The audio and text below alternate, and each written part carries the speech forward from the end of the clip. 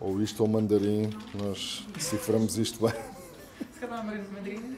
Mandarim é mais é fácil. Lá uns bonequinhos e umas casas. Mandarim já dá para